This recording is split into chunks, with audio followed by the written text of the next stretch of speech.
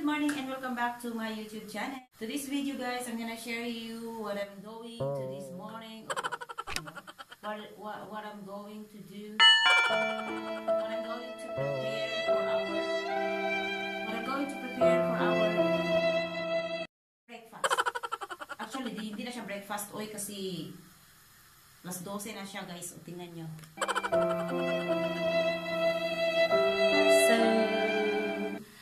What it see. Kung ano yung makikita natin, see what it see. Kung ano yung mag-prepare natin.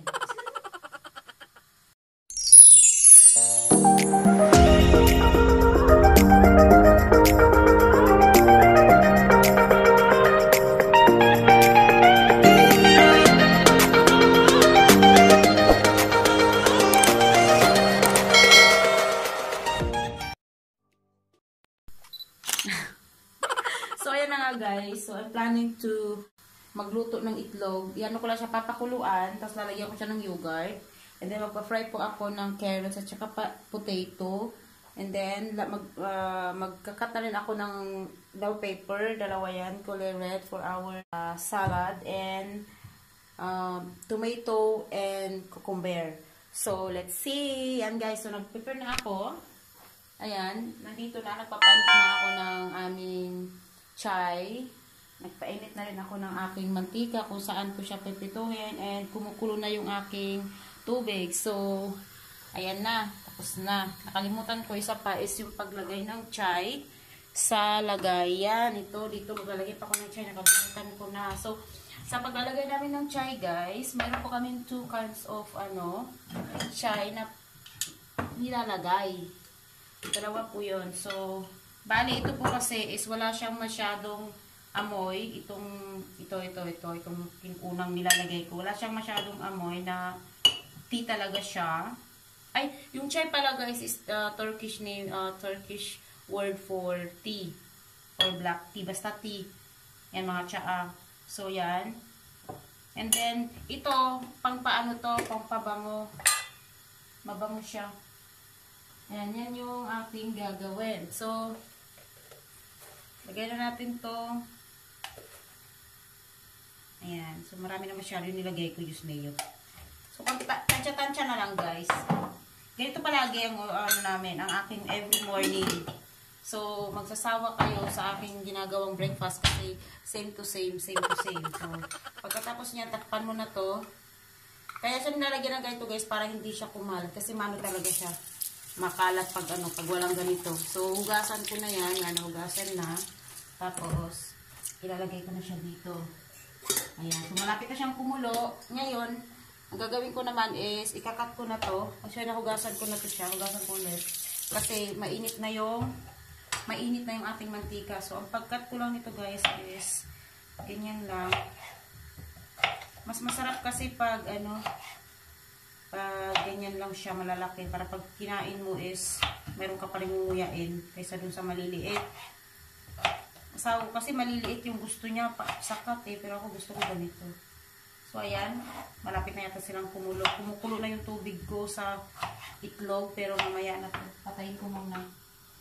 Madali lang naman siya gawin guys. Bali ano mo lang pag kumulo na siya lagyan mo na yung itlog lagyan mo ng konting mantika yung ano pagsabayin ko na to.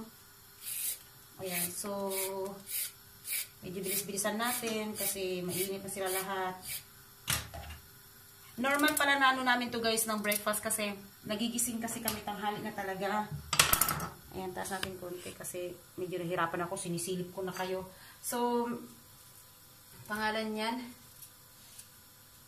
Gumigising talaga kami dito guys, normally is mga 9, 10, ganon. Pero, minsan, pag tinatamad pa, pag hindi pa talaga kami gutom, yan. Hindi pa talaga kami uh, gigising as in. Ayan guys, so kung makikita nyo, ayan, kinakat ko na yung ayan, so ganito lang siya. Tapos ilalagay ko na siya dito.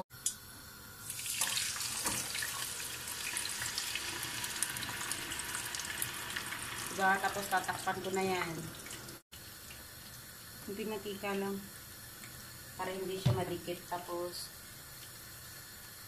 asin and then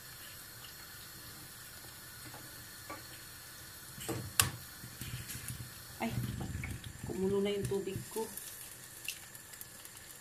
Lang, mag-wait ka lang dyan.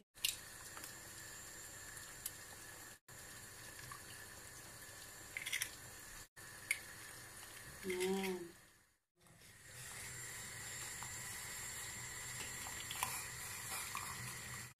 Ayan, so antay lang natin siyang kumulo within uh, siguro mga 2 minutes ay mga less than 1 guys, ituturo ko na sa inyo kung paano mag ano ng yogurt, yung yogurt, kung paano siya gawin.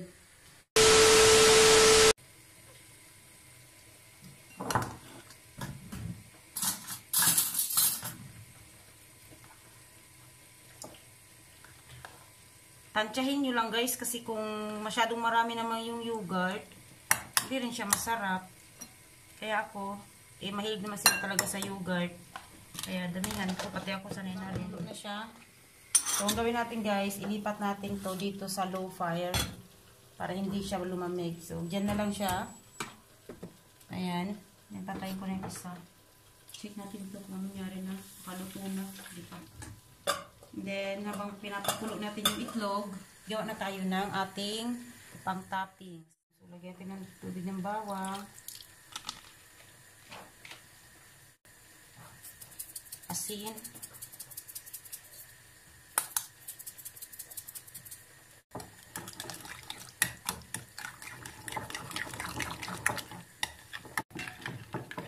Nilagyan ko pala siya ng konting tubig guys para hindi siya masyadong malapot. I-set aside na natin to guys wow! para.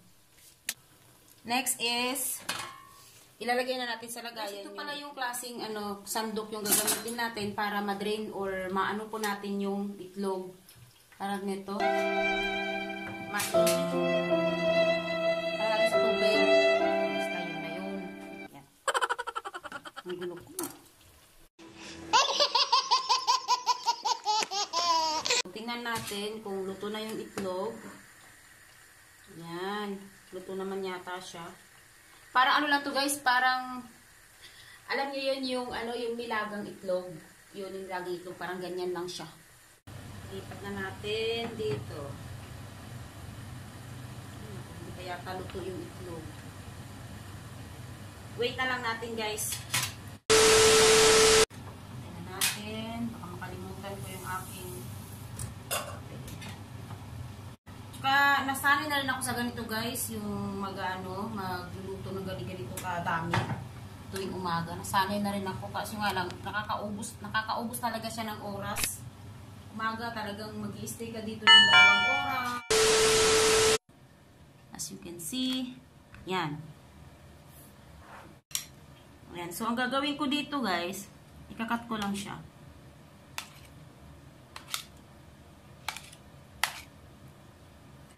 Medyo mainit yung itlog. So, hindi siya maganda pag nilagyan mo ng yogurt na mainit. So, mas maganda pag medyo malamig-lamig konti. So, ngayon, pinapalamig natin yung ano, yung ating uh, itlog. Magpakulo muna, ay magpa-melt muna tayo ng butter. So, dito ko siya ilalagay. Yan. Melt na tayo ng butter.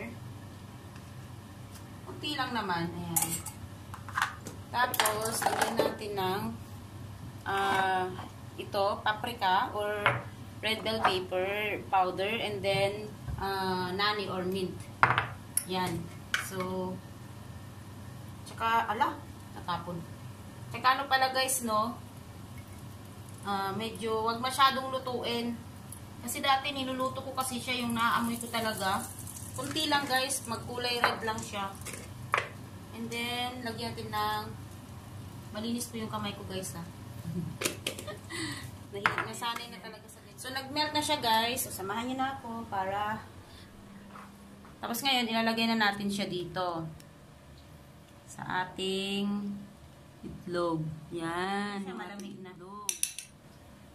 Usok-usok pa. And then,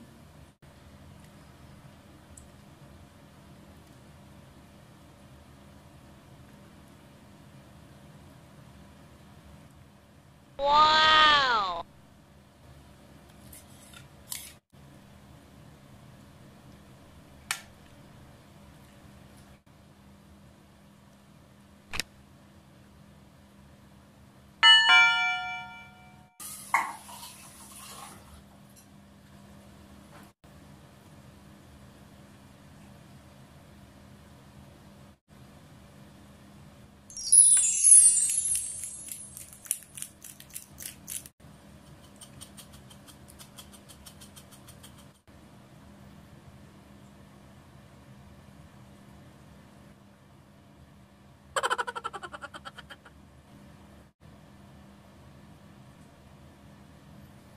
A few moments later.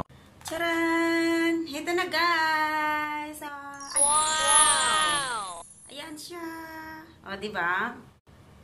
Very easy. Maglilipat na tayo ng ating patatas.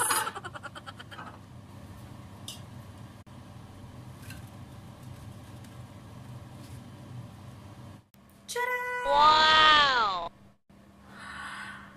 For breakfast! Ay, my baby siya! Guys, tingnan niyo to. Ay, so cute! See? Oh, there's a small there. Ay! Will you marry me? so cute! Will you marry me? Ah, di ba? Ang cute niya. Pinagtripan na naman yung ano. O, sige na. Lilinisin ko muna, guys. And then, papakita ko sa inyo later after this. Oh my God! Wow! Guys, ah, tinawag ko na yung mga kasamahan ko dito sa bahay. And, uh, gaya nga ng sabi ko, kailangan ko ng madali ito. Madali lang naman siya eh. Ikakat ko na lang siya. Hugasan na lang. Tapos, ikakat. Ayan. Pinapamadali ko siya kasi, ano, sila kasi, pangalan yan. Kailangan mabilis. Sanay na rin ako sa ganito guys, yung ano, magtatrabaho ako na mabilisan. Wala talaga, maubos yung oras ko dito sa kusina actually. Totoo yan. Ubos talaga. So, ikakat na natin. So, yung ano pala, ito, hindi ko na siya babalatan kasi looking fresh naman. Ganyan lang. Ayan. Pero yung isa babalatan ko kasi sa biyanan ko. Ayaw niya kasi ng may ano, ng may balat. Yan. Ito babalatan ko tong isa. Mas maganda daw pag makalat ang kusina eh. Mas mabilis daw gumalaw. Ayan. So, ko na to. Ayan. So, ito. Ikakat ko na rin.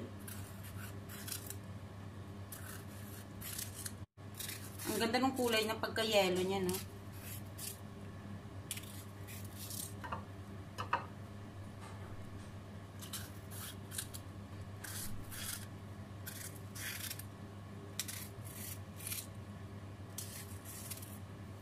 Hindi lang yan, may piprep akong iba. So, okay na siya. Ito na, wala nahulog. Ito na.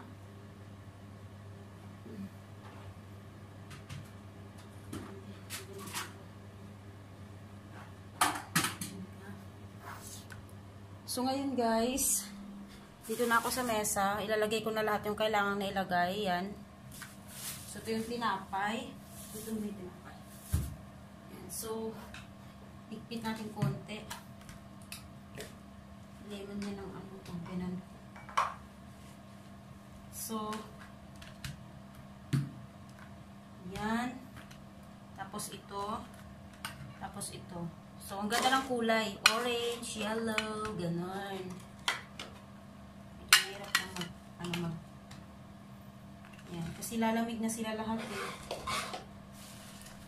So, ito yung asukal. So, kunit pa yung iba guys. Ito, ah, olive. Ito, olive na malalaki din and cheese. Honey. Di ba mawala sa tabi ko yan. And cheese and cheese. So, yan lang yan guys, yung aking ipiprepare for our breakfast. So, buksan ko na sila lahat. Ayan. Cheese. Cheese. And cheese. And, ah, parang yan. Honey. So, ganyanin natin para magkasya. Masyadong maraming laman. So, yan. So, may isang nakalimutan pa ako guys. Yung aking banana at ano.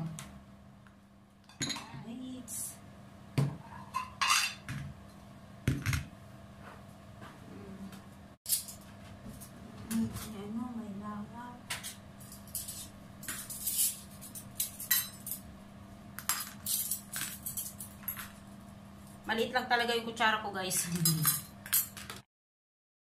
Tcharan!